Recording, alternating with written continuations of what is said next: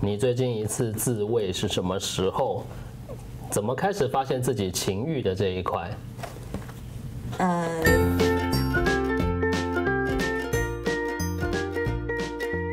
我是 Kim，然后我是一个小儿麻痹重度的患者，我每天都坐电动轮椅。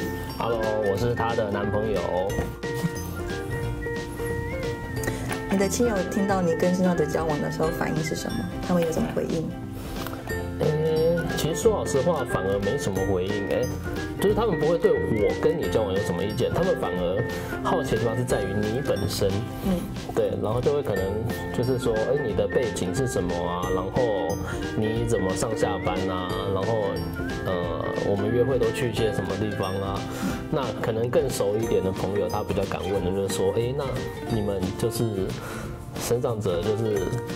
可以做的事情是不是跟一般情侣可以做的都一样呢之类的？好，换我喽。你有高潮的经验吗？请形容那是什么样的感觉？用玩具的时候有，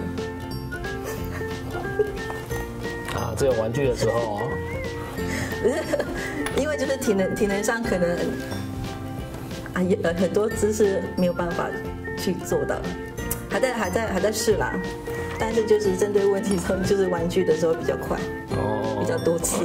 好啦好啦好啦，我们做爱的时候，你会幻想我是谁吗？这样会增加快感吗？不会，不会，不会幻想你是谁，因为其实跟跟直立人就是一般人在在做的时候，其实我觉得我自己来讲，但是我我朋友也这么觉得啦，就是身上的其实也会有一些压力，就是觉得说，呃，可能因为身身体上面的一些限制，可能对于男生的视觉啊，或者是体力上的分担，可能身上的就没有办法做到那一块，所以所以在做的时候，其实脑袋也是很挺复杂的。你会渴望婚姻与家庭吗？生长者会遇到什么阻碍？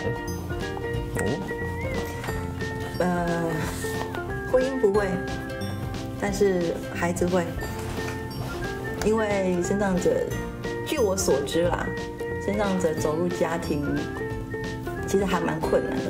一方面，呃，对对对方的家庭也是一个很大的要考量的因素。然后有时候其实自己这一关也会过不去，就是觉得说好像身障者可照顾自己，体力上已经是一个负担，能不能再去照顾另外一个，去支撑一个家庭？而且就算是我啦，如果你问我说我的孩子跟一个身障者 O 不 OK 的话，我觉得我能够体会一般父母的态度。我自己会觉得跟生长者结婚，我觉得不是什么大问题啊，因为其实，呃，甚至我自己身边，比如说 FB 的朋友，对吧？他们的确有很多都是生长者跟直立人是在一起的，不不管是男性生长者或者女性生长者，但是，呃，我可能会想比较远，会觉得说，比如说我我的女朋友身体构造的问题，她会不会生小孩，会不会有什么危险？之类的，不晓得这可能还要再去评估，但我自己会考虑到这样这方面。那我本身对婚姻，其实我觉得是非常 OK 的，嗯，这样可以吗？